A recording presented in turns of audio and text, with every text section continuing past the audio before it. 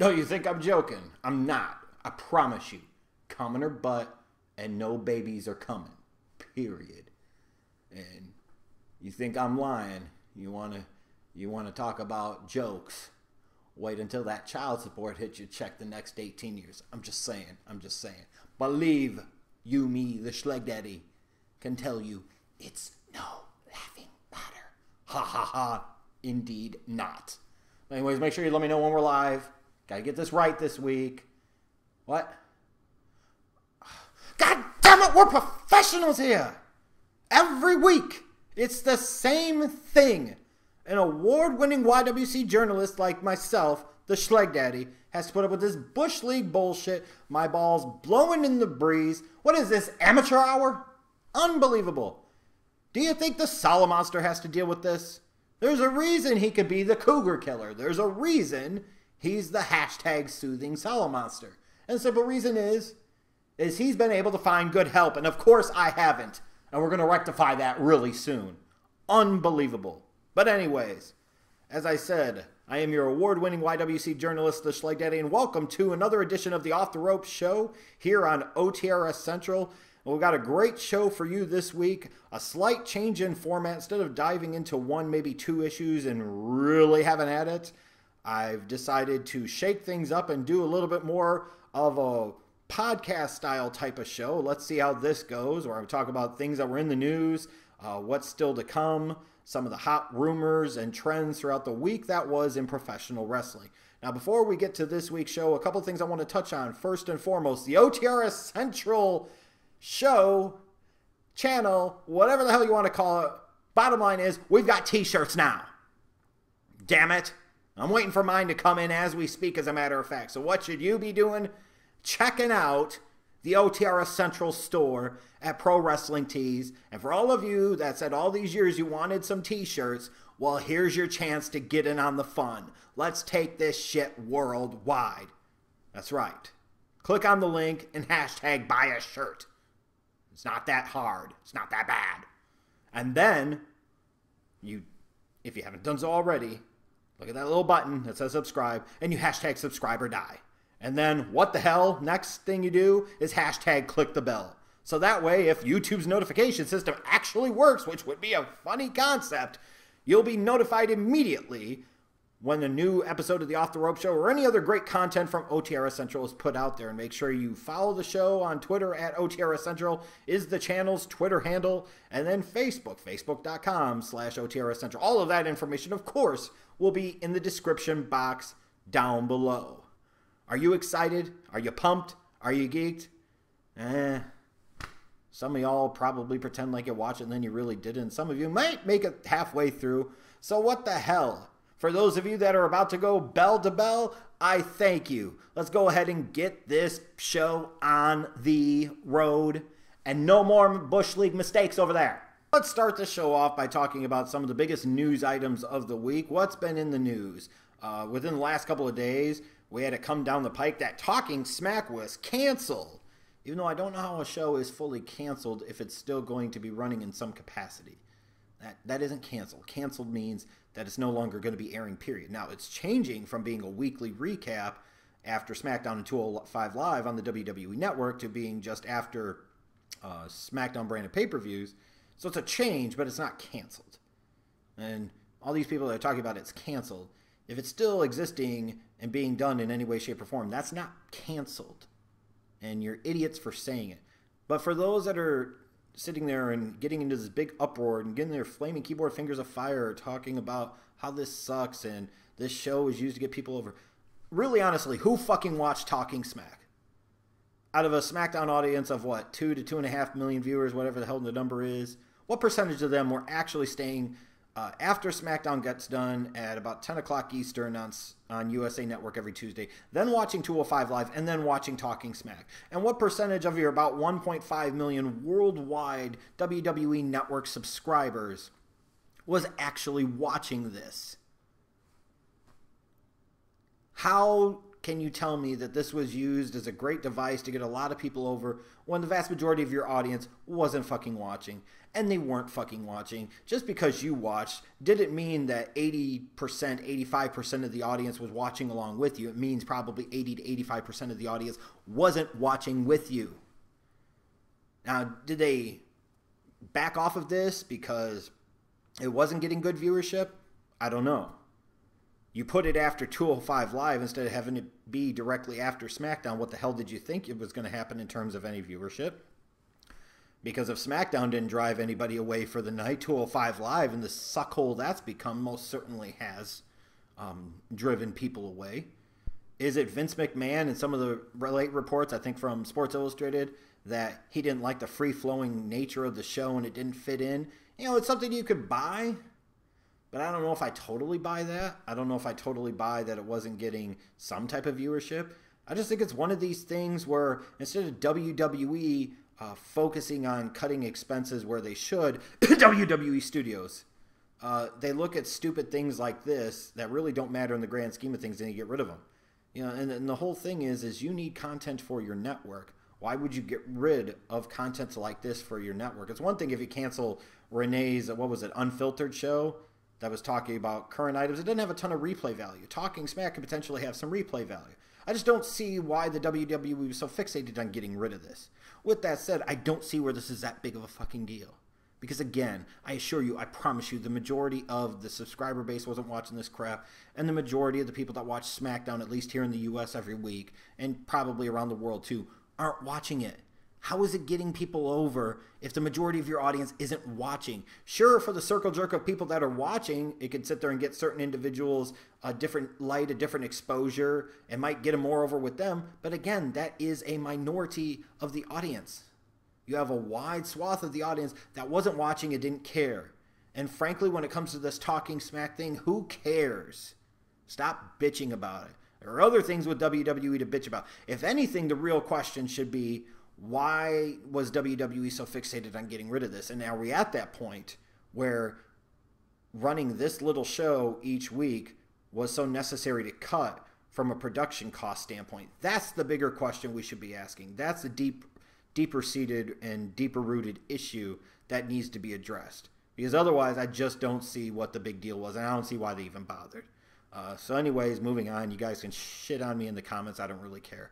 Uh, moving on to Global Force Wrestling, of course, uh, the big news for them this week was that they ultimately suspended Alberto El Patron, and some people were talking about how this was a great move.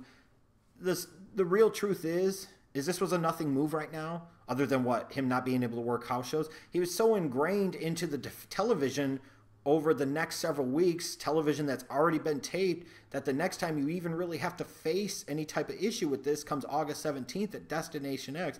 This is a suspension that is good in PR only, but doesn't really have a lot of practicality because you couldn't just edit him out of the shows, especially since you just made him the world champion. What I find really interesting is why so many people are excited about Alberto El Patron who presumably is innocent until proven guilty in this country, or at least he's supposed to, getting suspended mm, without pay, you would assume. But Paige isn't suspended even though she was part of the incident. It just, again, as I talked about in the video several days back, what if Alberto El Patron is innocent? It's this whole thing of because people like Paige apparently, and they think that by defending her, that she's going to like them and potentially do fuck tapes with them which is never going to happen. She's not going to fuck you. So as a result, stop kissing her ass and stop buying into this feminazi bullshit about how the woman is always the innocent fucking victim. And the point is, we don't know what happened. So until we know what happened, either both of them should be suspended by their respective companies or neither one of them should be suspended by the respective companies. I think it's ridiculous that Alberto El Patron is the one that gets suspended here, that everybody talks about him and how bad of an influence he is on her. She's batshit crazy, period.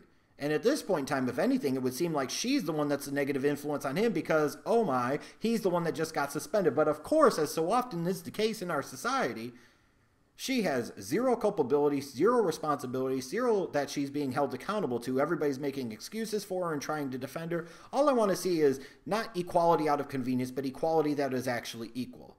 And to me, this is a situation that is ripe with hypocrisy. if Alberto El Patron was suspended, then Paige should have been suspended.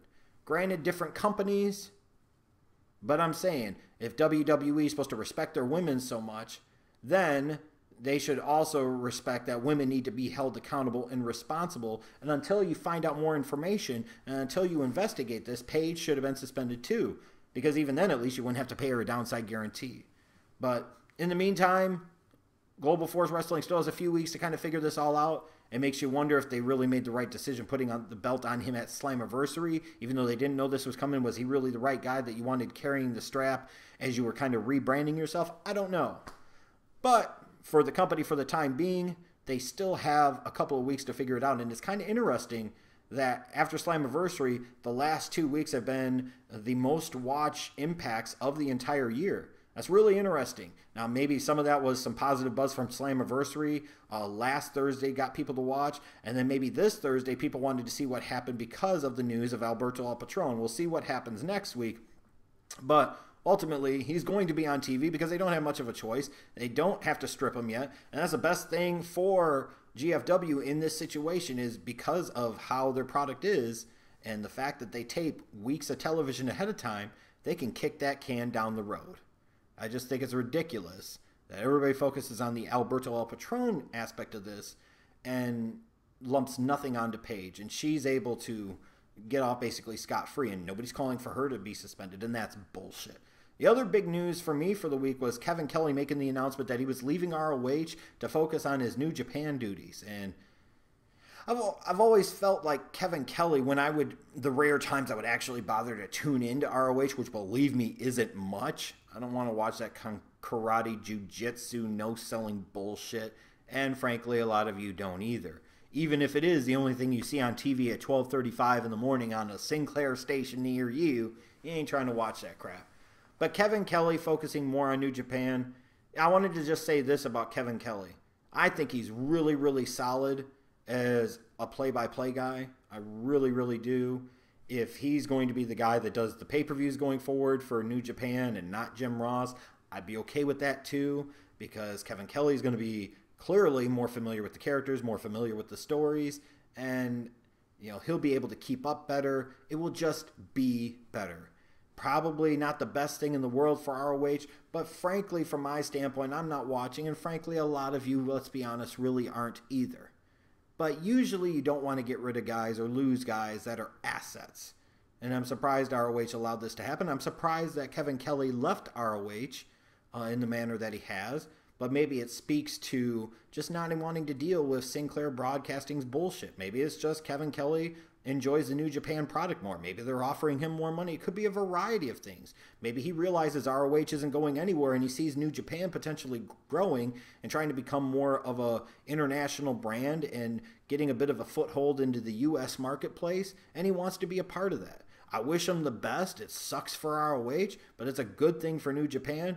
I just wish there were more commentators in the business like Kevin Kelly that were actually competent at their job they didn't get caught up in bullshit that actually told the story that they need to tell. So let's talk about the wrestling week that was and some of the shows that were going on. Great Balls of Fire had its moments. That Roman Reigns Braun Strowman ambulance match I thought was outstanding. Joe and Lesnar started off really hot and then the finish was just lame and fucking disappointing. One F5 is going to end it. Look, I'm not big on kicking out of finishers all the time, but maybe Lesnar should have wanted to hit a second or even third F5 just to make sure he had put Joe away, is what I'm saying. And you're kind of fighting an uphill battle with me at this point to get me really, really sucked into wanting to see these two guys wrestle again because I've already seen Lesnar beat Joe. The babyfaces win over the heel in theory. Where's the story? Why bother at this point?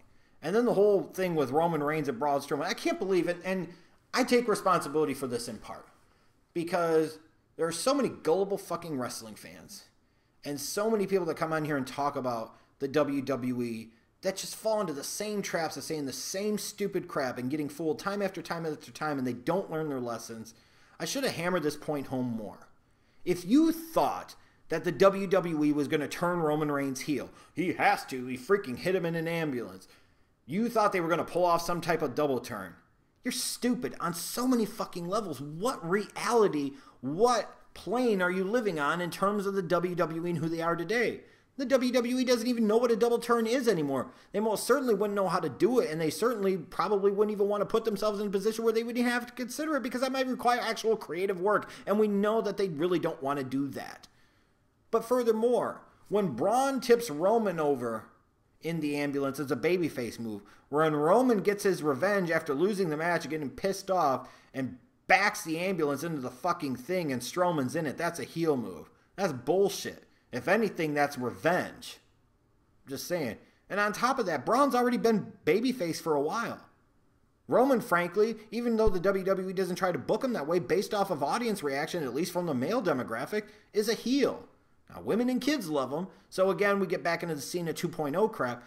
But it was this whole thing of if the WWE didn't turn Cena heel after all those goddamn years, what makes you think that they would intentionally do that with Roman Reigns? And what makes you think that would be a good thing? And what makes you think that would maximize the return of time and energy and money they've invested into Roman Reigns and his character the past few years? Roman Reigns could be a heel and then what eventually start cheering him and then again the whole dynamics are off of it. Oh, you want to boo him, so now you've got a reason to boo him. It's not going to make any fucking difference. If the WWE doesn't want to do it, they're not going to do it, and it's just that. And I can't believe so many people were so sucked in Sunday night so stupidly, thinking that this was some type of indication of a Roman Reigns heel turn or a possible double turn. The fuck are people smoking? I'm excited to see potentially this four way between Joe and Lesnar and Roman and Braun potentially at SummerSlam. And let's see if that's where the WWE goes. Uh, but at least I can say with Great Balls of Fire, I was excited going into it. And you can check out my review on this channel. I felt like while it could have been better, it most certainly could have been a whole lot worse. Extreme rules, extreme rules. Anyways, we got the tapings for the Mae Young Classic, and I was really confused because when I saw a Mae Young Classic trending on Twitter, I actually went to the WWE Network and I thought I was actually going to watch it on Thursday night. Didn't realize that it was being taped, and then we're going to start airing it next month. I thought that was frankly kind of a mistake.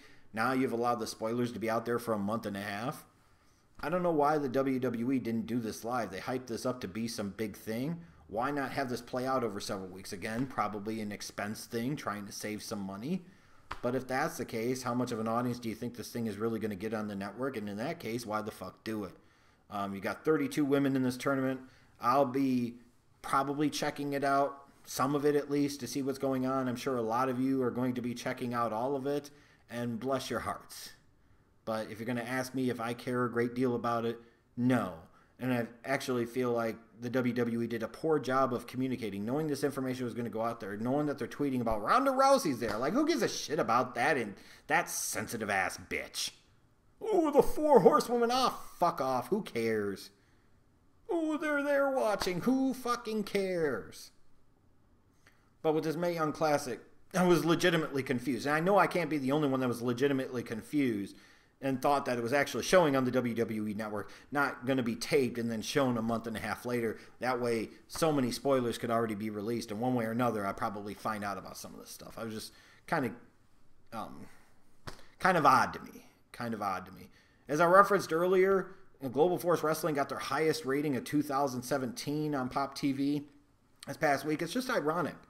And sometimes maybe it speaks to a disconnect uh, for me with wrestling fans in general today because while the show was a little bit better than the week before, I still don't think this wrestling was very, very good. The show in general was very, very good at all.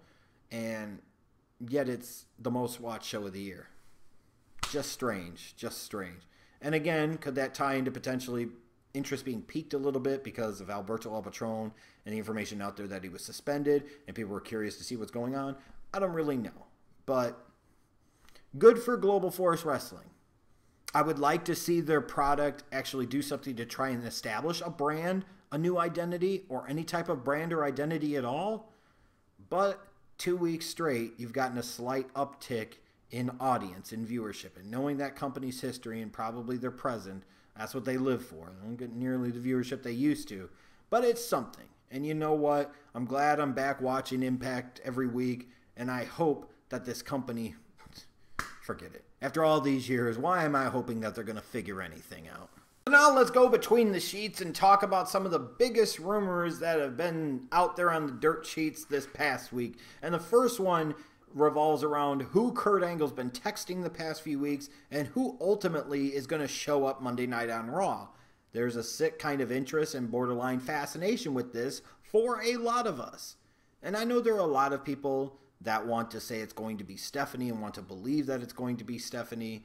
And, and there are definitely storyline reasons that you could make that work, especially if you were trying to build up potentially to a Kurt Angle Triple H match at SummerSlam or in the future.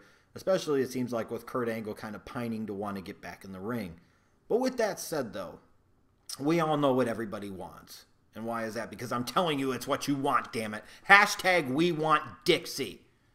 You know, for so long, we've watched this WWE product and it's become stale and it's dull and it's repetitive and there's not much in the way of spontaneity. Dixie Carter showing up on Raw, who the hell would have thought that would ever happen?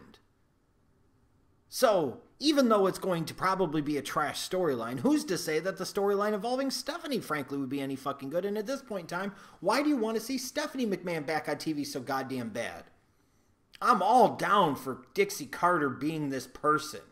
Hashtag we want Dixie. Hashtag we want Dixie. Imagine if she comes out there and she grabs the mic and she says, Well, let me tell you something, darling. Once she says darling, yes, people are going to know for those of you that sit there and say, who would fucking know? All right, these are the same people that when somebody debuts from NXT, you know, these guys get a reaction because a lot of the fans that actually buy these tickets, in terms of the adult males, do watch NXT and these other shows, the independent shows, what have you. So these guys, when they debut, get a big reaction. You don't think Dixie Carter's going to be known. You don't think Dixie Carter's going to get a reaction. And even if she doesn't, that's going to be fucking epic and classic too.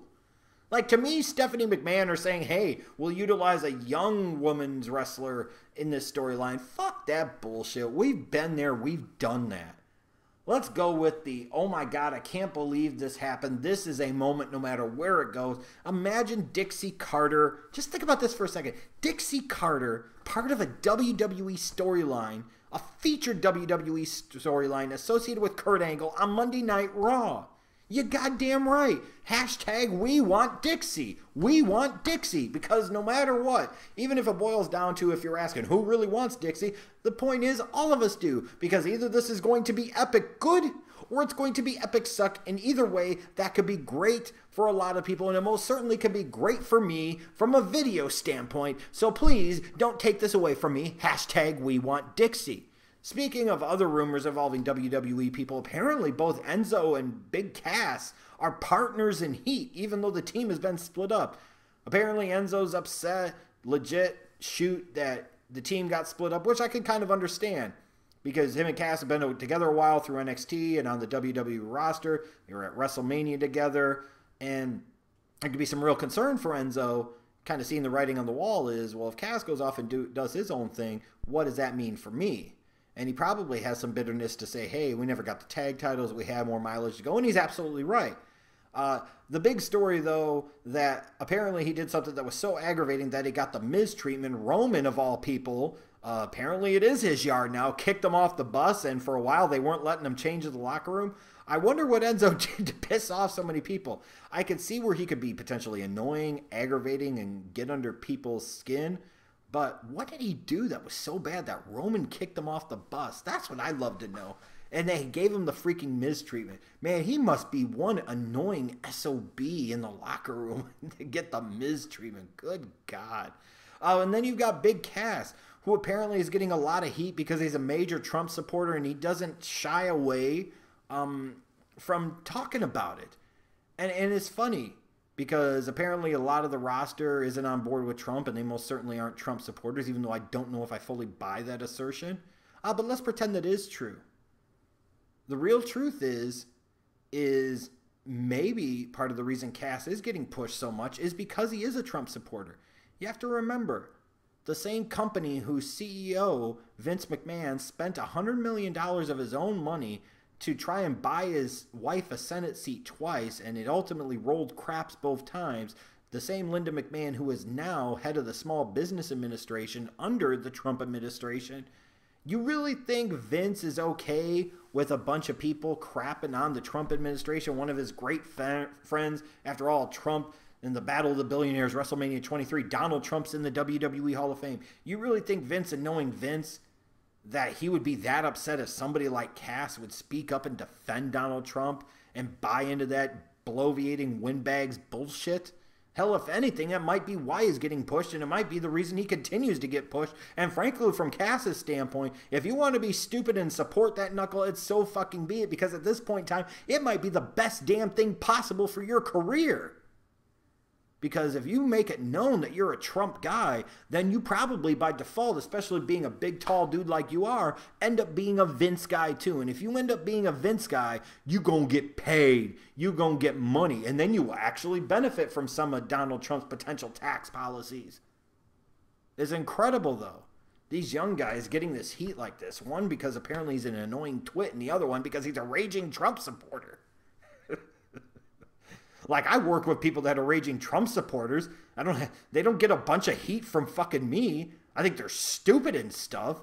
More so because of what they say to defend him is just ridiculous and just not backed up by any real factual evidence. But again, I don't get they don't get a bunch of heat from me. In fact, if anything, I like talking to them. I like engaging with them. I don't just want to hear people that agree with me. If anything, I want to hear people that disagree with me that have different viewpoints. That's the whole point of being kind of open minded, isn't it? Why would Cass have heat for talking about Donald Trump? And for the wrestlers in the WWE that don't like it, then clown on the fucking dude.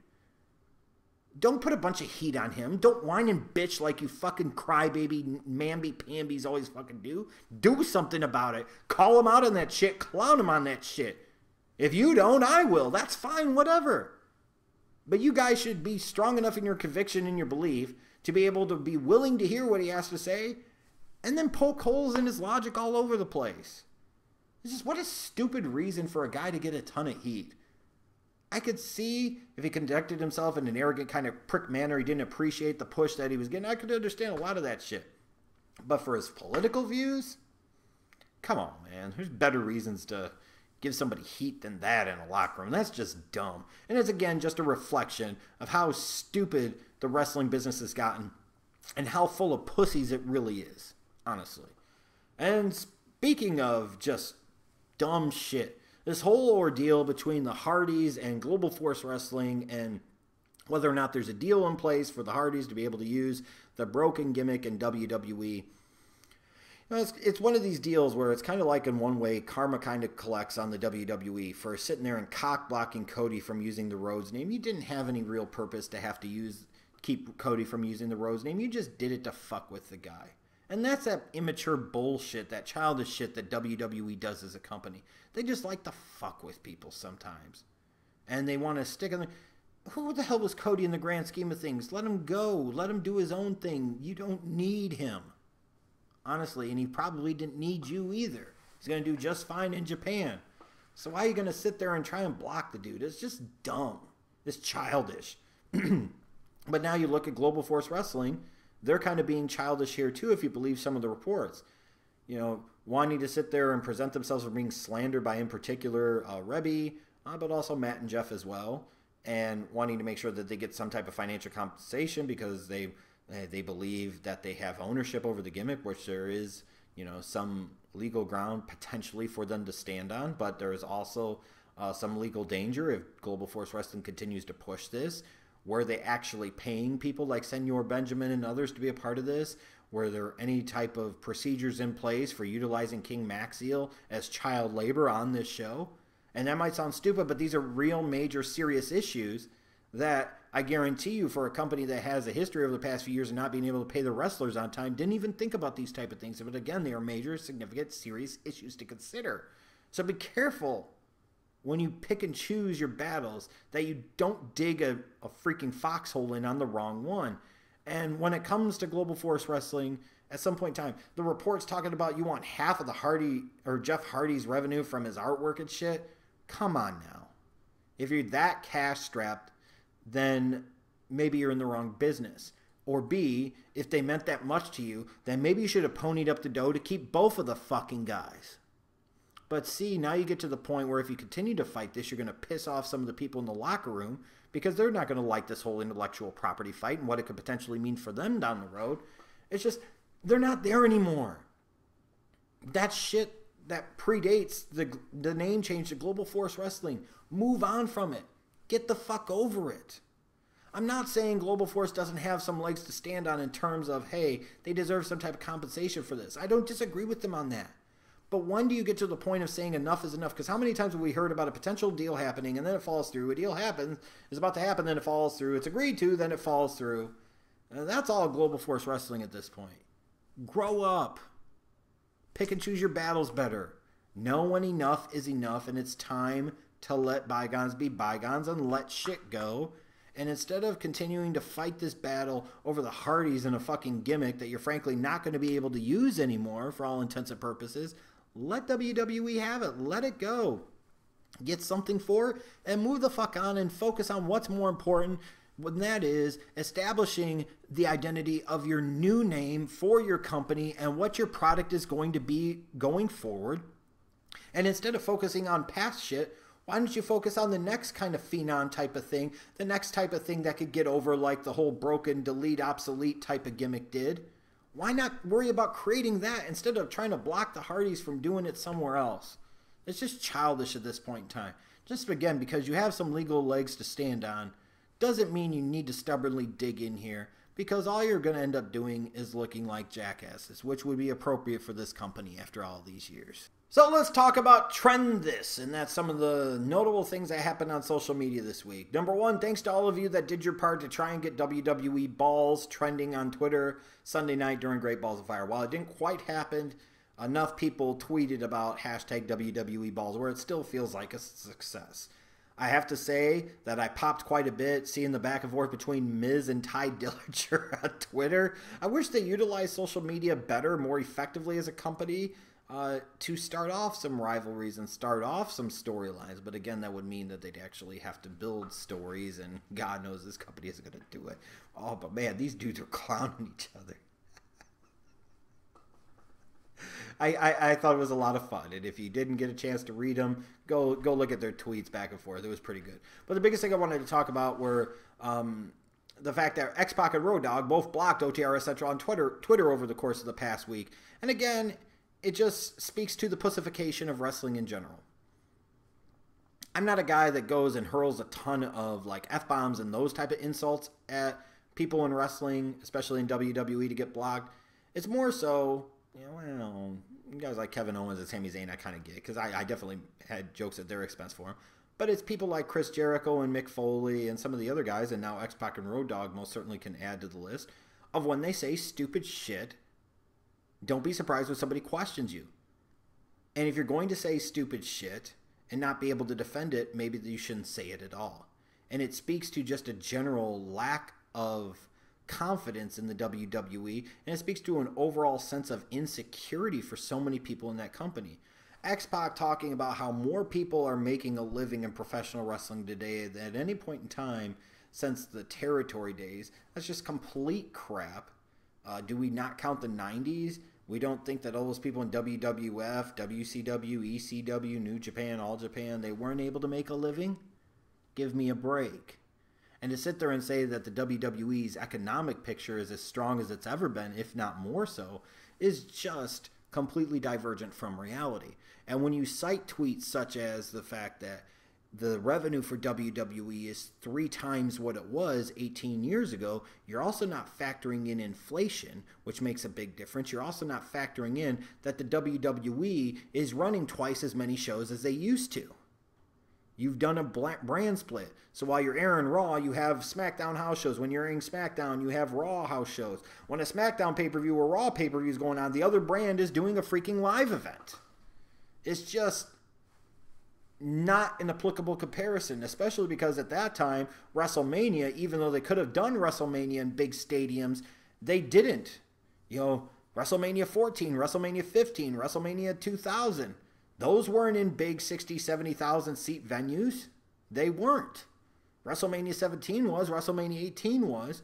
But you're comparing that to where the WWE every year now runs WrestleMania in a big venue, and now they're doing SummerSlam in a big venue. They just did Royal Rumble in a big venue. It's just not comparable.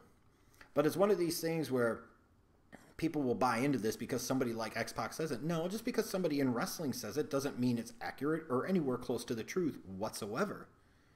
And doesn't mean that it doesn't deserve to be questioned. Doesn't mean you have to insult people, but it's a valid question. To sit there and say, well, you're making three times as much money, again, comparing the value of $1999 to $2017, you have to factor in a whole lot of inflation. When you do factor in inflation and you look at 1999 compared to 2016, and you look at the fact that the profit level for 1999 was three times as large with a much smaller uh, expense sheet, that should be concerning for WWE. They really dove into this WWE network and they're still hovering around 1.5 million subscribers and they have distribution, I believe, in about 170 countries. They struggle with some of their live events for Raw and SmackDown to sell out. Some of their pay per views they don't sell out until the very last minute. Raw's and SmackDown TV tapings they don't always sell out until the last minute. Sometimes they don't at all. You know, back in those times during the Attitude Era, they were selling out every goddamn show. Every show started off with them talking about how it was a sellout crowd of da da da and da da da. And the television ratings were at least twice what they are now, if not two and a half times. I mean, it's just for X Pac to sit there and basically try to paint a picture that WWE's financials are as good as ever, if not better, is just delusional bullshit. When your expenses are twice what they, or excuse me, really three times what they used to be, but your profit levels are a third of what they used to be 18 years ago once you adjust for inflation.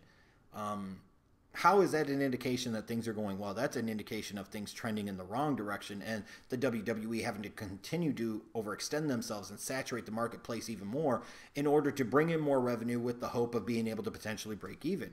At some point in time, you stretch yourself too thin, you really create a potential disastrous financial picture in a financial situation. That's what WWE is doing.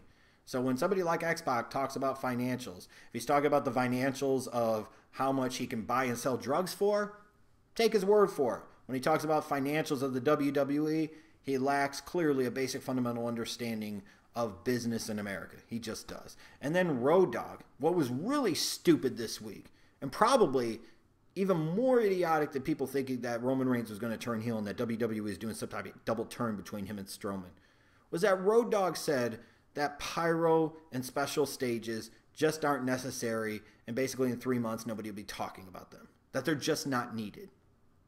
I wonder if Undertaker and Kane and Goldberg and some of those guys over the years would agree that you know, the Dudleys that we don't need any type of pyro. Shawn Michaels probably doesn't think that his entrance where he did all of this crap on the ramp, he didn't need those fireworks going off behind him. Special stages? Ah, who needs a special stage? It's just another wrestling show. I mean, are we that desperate to defend the WWE's cost cutting because they're not doing the business that they should and they're not doing the business that they once did to where we come up with the most asinine, ridiculous defense mechanisms possible? Like professional wrestling, even especially if you want to call it sports entertainment like WWE does, it's sports entertainment. It's supposed to be about theater and spectacle. You take away the special customized uh, stages for the big events, in particular the pay per views, and you take away the pyro, then nothing special about it. If I tune in to watch a pay per view for Raw and it's the same set that you use for Raw, like with Great Balls of Fire, then it just feels like Raw. Then why would I eventually feel like I have to plunk down $9.99 a month to watch on the network when I could just watch basically the same shit on Raw, which isn't all that untrue because so many of the matches they do on the pay per view, they'll just rewind and rematch them the next fucking night on Raw anyway. So if you didn't watch it Sunday, they give it back to you on Monday night any damn ways. But how ridiculous. If a special stage didn't mean anything, then why does WWE spend seven figures to build a WrestleMania set every year? Then why not just plunk down a Raw or SmackDown set for WrestleMania? If that's the case, then the big stadiums don't freaking matter. Other than you could sit there and say for the amount of revenue they generate, then jack up the ticket prices three or four times as much and hold it in a 20,000 seat arena because it doesn't fucking matter. It doesn't need to feel any bigger because, again, it doesn't matter. We don't need it. And to say that pyros aren't needed, I'm not saying you need to do pyros liberally across the board for everybody. But to sit there and say that they carry no intrinsic value, that they don't matter, and in a few months we don't won't talk about them It's just ridiculous. If people aren't going to talk about them in a few months, it's going to be because they've stopped watching your product, you stupid idiot. I mean, my God. And I think isn't Road Dogg the lead writer of SmackDown? And for some of you that have been watching SmackDown lately and haven't thought it's particularly good, maybe this is an indication of why it's not very good. An idiot that should know better, a multiple time tag team champion, a guy that got himself over with catchphrases, and that's about it. This guy here, the same guy that was a part of a DX invasion of WCW where they rode on a freaking tank. According to Road Dogg's logic, they might as well just walked up or rode on fucking Schwinn bicycles instead of a goddamn tank. Sometimes you have to spend money to make money. And to talk about WWE, whose CEO, Vince McMahon, believes they're in the movie making business. Imagine doing some type of summer blockbuster and not doing one type of special effect, one explosion, one anything like that at all. You'd laugh at that shit and you'd say, This is the biggest piece of crap ever. Why the hell would I watch it? That's the same thing WWE fans are saying. And it just speaks again to just in general the corporate being down of the product and watering it down to make everything feel the same. Therefore, nothing stands out. And we try to come up with these dumbass reasons to defend it. One, the simple fact of the matter is, it's just because the WWE is trying to cut costs. But if you even sit there and just say it's to cut cost, I understand that. But to sit there and pretend like it's not about cutting costs and it's just a matter of you just don't really need it anymore. These are the people that are influencing the business today still. These are the people like Road Dogg that have voices in the creative process of WWE. When you look at the product and you say what a steaming pile of shit it is, it's because of dumb dick idiots like this believing bullshit like this and putting it out there like this that helps make the WWE product as bad as it is. Can you fucking imagine The Undertaker without ever having any type of druids, any type of smoke, any type of special effects, no lightning bolts coming out, no caskets catching on fire? Imagine Kane if you never had any fucking pyro at the beginning of his entrance, never did the thing where the flames shot out of the fucking turnbuckles, none of that shit. My God.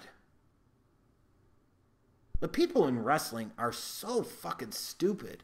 And it just, if anything else, I deep down like to believe that it's not Road Dogg possibly being that stupid. It's that he's trying to be a good soldier. But if this is what being a good soldier in WWE means at this point, like the ridiculous defenses you see on a lot of issues issues sometimes are just unbelievable. And this right here has to be one of the biggest examples of being a blind, dumb dick sheep that I've heard of in quite some time. We don't need pyros or special stages. Then just dress the wrestlers all the same. Then stop paying anybody to create entrance music.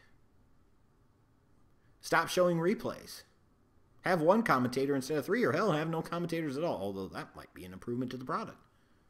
Why do any backstage pre tapes? Literally every segment should be a match, match, match, match, match. Because we don't need to stand out. We don't need to be different. How fucking stupid. So, when you go back in the wrestling time machine, what were some notable things that happened during this past week in years past? Number one, Black Saturday back in 1984 when Vince bought TBS's television time slot. Uh, and basically said, Ta da! Thank you, Jack and Jerry Brisco and Jim Barnett. Now, instead of you tuning in to watch Georgia Championship Wrestling, you're going to see some good old WWF highlights and fucking house show squash match bullshit. And what's funny is if you've ever watched the McMahon DVD, how they try to sell this and how they try to spin this. Talking about how it was a great attempt at a one two into the cable marketplace. And Ted was talking about he wanted to buy his wrestling company this wrestling company and they said he would sell it to the Crockett's and then if he wanted to buy it from the Crockett's, just what a complete load of shit. And really, honestly, Black Saturday and the immediate aftermath of it was a disaster for the WWF. It was a complete disaster. You had all types of fans writing into the network pissed off about where their freaking Georgia Championship Wrestling was was at. It did crappier ratings by comparison to both Bill Watts's and Georgia Championship Wrestling's product. Um, this was not a financial success. Eventually, they had to sell it to the Crockett's because they were losing money on it. This was a time even before WrestleMania 1. So to sit there and assert, like they did years back, especially Shane, that this was something that in any way, shape, or form was anything other than a major fuck you and a major flop for WWF. It's just complete historical revisionist bullshit. But think about that though. That happened 33 years ago. And still people have talked about it. And I've actually had a conversation with Jerry Brisco about it before. And it was interesting to say the least, but I won't share those details here. Uh, what else happened? I believe it was 29 years ago on this date, actually, that Bruiser Brody died from his stab wounds when he was murdered by, um, who was it, Invader Number One or whoever the fuck it was. Um, what, what a shame. What would ever get to the point in professional wrestling where you would basically off a dude in the freaking shower and stab him to death? And then the whole cover up and the fact that nobody ever faced justice for it and Carlos Colon, who helped cover it up, is now in the WWE Hall of Fame, is sickening. Um, 29 years ago, Bruiser Brody uh, passed away. A long, long time ago.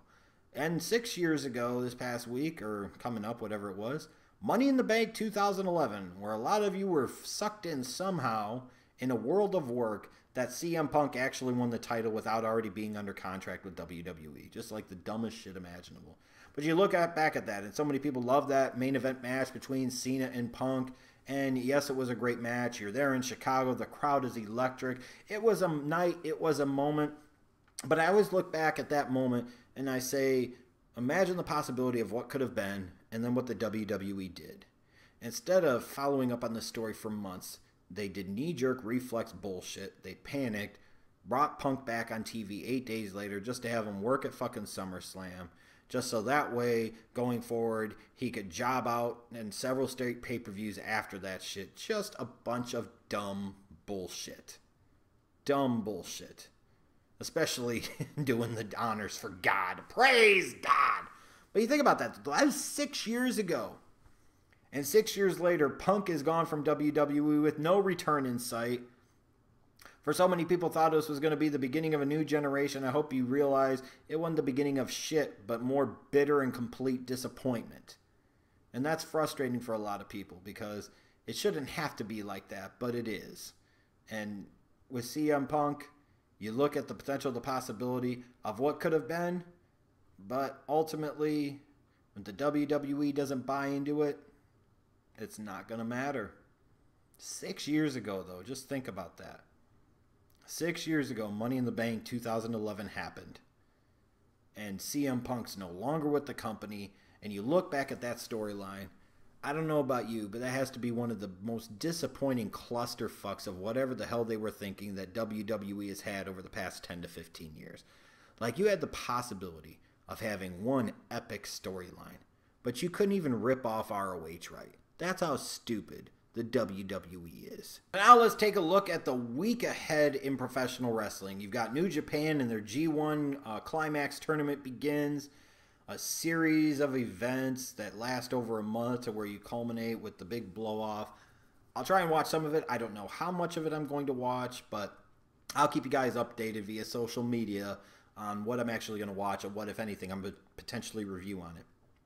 You've got Raw coming up on Monday. You've got Samoa Joe versus Roman Reigns. The winner of that is in place to, or slotted, excuse me, to take on Brock Lesnar at SummerSlam. I'd expect something screwy happens here where Strowman gets involved and we get the four way. And, and frankly, that's the direction the company needs to go at this point. They've got to go with the four way, uh, whether it's Fatal four way or it's Elimination four way, probably be a Fatal four way at SummerSlam you might as well go all balls in with these guys in one big story. Give us at least one big story with several moving parts that could be really, really good. And we're also going to find out who Kurt Angle's mystery love is. Hashtag we want Dixie. We want Dixie. And if you don't want Dixie, then fuck you. Uh, SmackDown, it's their go home show before Battleground, and that's about all I can gonna talk about with that. Um, Battleground is coming up this Sunday. I'll be watching, I'll be reviewing. We'll see if it's any good or not. Also, for those of you that are in the Midwest in particular, and just in general, kind of a heads up. This upcoming uh, Friday and Saturday, you've got the George Tragos Lou Thesz Professional Wrestling Hall of Fame weekend at the Dan Gable Museum in Waterloo, Iowa. I know it's a mouthful, but I can tell you for somebody that's been involved as a volunteer in the past and as a spectator in the past, if you are a real true wrestling fan, it is something you need to put on your bucket list of something you do at least once in your lifetime. This year, the event is being headlined by Mr. Wonderful himself, Paul Orndorff. Mr. Wonderful. Who is Mr. Wonderful? Paul Orndorff. Who is Paul Orndorff? Mr. Wonderful. Why is he Mr. Wonderful? Because he's fucking Paul Orndorff, damn it. My only regret is that I'm not able to go there and meet the legend himself, Mr. Wonderful Paul Orndorff. But Jim Ross is there, Jerry Brisco's there, J.J. Dillon's going to be there. Uh, there's other guys that are going to be there too, just like there is every year. It's really a great event. Uh, Troy Peterson and the Impact Pro Wrestling people put on a phenomenal show on Friday nights. Uh, there at the convention center, and they do a great job of incorporating the legends. I'm trying to think of who's going to be there this year. Oh, American Alpha is going to be there this year, um, making an appearance. I believe Ricochet is going to be there. I think. Um, I don't have the whole uh, poster in front of me, but again, if you are a wrestling fan and you've been to Cauliflower Alley and you've been to WrestleCon and some of these other things, to me, this is one of those those undercover events that doesn't get nearly the buzz or attention it deserves. Like uh, last year, Meltzer was there. This year, I believe Wade Keller is going to be there. Um, these are the type of events that if you are a true blue wrestling fan and you love the history of professional wrestling and you love talking about uh, wrestling days of old um, and being around other wrestling fans and seeing great merch and seeing great artifacts, uh, like a copy of Maurice Tillet's Death Mask, um, one of Bret the Hitman Hart's jackets, uh, you know, so many other things there at the museum. You've got to go at least once in your life. I've been a part of the event a couple of times, and hopefully I'll be able to go back in a future year. I hope so. But for you, maybe not this year, but if you are in the Midwest and you figure out a way to go, please go. I promise you it'll be worth it. And if you haven't gone before and you're a wrestling fan, you need to go in the future. it, it is a great time and a wonderful experience, even if it is a little bit out of the way in good old Waterloo, Iowa. If anything else, if anything else, if you want to see these legends of wrestling act like little kids and be marks. Just wait until Saturday afternoon every year when Dan Gable actually walks into the museum that bears his name. I'll never forget in 2012, I'm, I'm standing next to Road Warrior Animal, and there's Jim Ross sitting here, there's JBL sitting here, and you're doing the autograph signing, and all of a sudden Dan Gable walks in, and I shit you not, literally everybody that's signing stops and gets up to take a picture with Dan Gable. That's when you know you're a badass dude. That's when you know you're a real true legend. And that's the type of shit that you can only see as part of that George Tragos Lou Thesz Professional Wrestling Hall of Fame weekend at the Dan Gable Museum this upcoming Friday and Saturday at Waterloo, Iowa. If you've never been before, go. It should be on your bucket list of something to do as a wrestling fan. And then we get to what I call the hot finish, where I'm going to spend a couple of minutes at the end of each off the rope show just giving a hot take on something. And I hope you guys have enjoyed this. I think it's been okay. I don't know how great it's been, honestly, but we'll get better at it, I promise you. And in the future, probably going to incorporate some other people up to and including some tasteless ones, some marvelous ones, some metal ones, and maybe a Mr. Route 2. Who knows? Uh, but the hot finish for this week is when will OTRS Central get some love? Now, maybe part of the reason this channel doesn't have a bigger audience is because of the way I conduct carry myself sometimes. Maybe it's because I'm not so pro uh, some of the indie guys and some of the Japan guys that a lot of these other guys are. And sometimes I tell you what I feel like you need to hear as opposed to what you want to hear, and you don't really want to hear what you need to hear. So that's why the audience isn't bigger. Maybe it dates back to shit that goes years back, which again is kind of ridiculous because now basically everybody but me is asking for donations. All I'm asking you to do is if you want a t shirt, buy a fucking t shirt. But I've never understood. No wrestling promotion has ever reached out to me and wanted me to be a part of anything whatsoever. No wrestling promotion has reached out to me to try and get any wrestlers on my show whatsoever or on my channel whatsoever. I hardly, if ever, get any request from any wrestling websites to be a contributor at all. Um, really, I never do. And there are people with much smaller followings that are frankly terrible when you, in comparison to me. I feel comfortable in saying that that get these opportunities, even if it is just getting paid in exposure and audience size. I would appreciate that exposure and audience size. And a lot of these other channels, big and small, eh, I've, I've never understood why, and after six plus years, I feel like I deserve a little more respect than what I get. And I feel like I should be more involved than what I really am. And I don't know what it is. And I'm sure part of it is due to me. And maybe this is going to kind of sound like sour grapes. You know what? It fucking kind of is sour grapes. Because I see these people with lower subscriber numbers, lower viewership totals that get to be a part of wrestling promotions, that get brought to wrestling shows, get to be a part of this, and you know, other people ask them to be a part of their channels, and so on and so forth. And like nobody, almost nobody, almost nobody ever fucking asks the Schleg Daddy to do so. Like, who's got to get a reach around here for the Schleg Daddy to get some goddamn respect and for OTRS Central to get some damn respect? It's horrible. But you know what? If these people aren't on board, if these people don't want to bring me on, then fuck them. We don't need them. We'll get big and bad without any of them. And then when the time comes, we'll force them to and give them no choice. It's just bullshit that after all this time of doing it, it's like I do have an audience of some type, and nobody seems to fucking care. I don't I don't know. I, I just don't know. But again, it is what it is. When is this channel, when am I going to get some fucking love? But you know what? If I'm not going to get it, then by God, I'm going to take it. So thanks to all of you that have watched over the years, that continue to watch, continue to support the show. I thank you. And we're going to do it. We're going to hashtag make wrestling fun again. We are going to do this thing bigger, better, brighter than we ever have. And always remember with the Off the Rope show, since 2010, we've been entertaining ourselves while you watch. And this is the OTRS Central channel where it's not the wrestling show you want, it's the just the wrestling show you need. Thank you everybody for watching. I'll see you later.